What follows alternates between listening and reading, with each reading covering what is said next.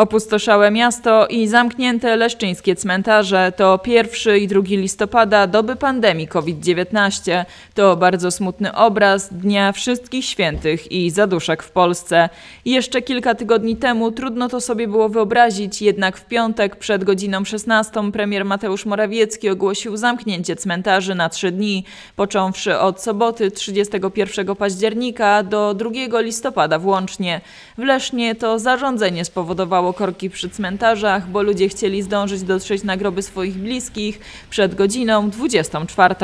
Puste cmentarze w dniu 1 i 2 listopada, łańcuchy zamiast szeroko otwartych bram to niecodzienny i przykry widok naszych nekropolii. Nieliczni spacerujący mogli z zapłotu spojrzeć na groby bliskich, jeśli znajdowały się bliżej ogrodzeń.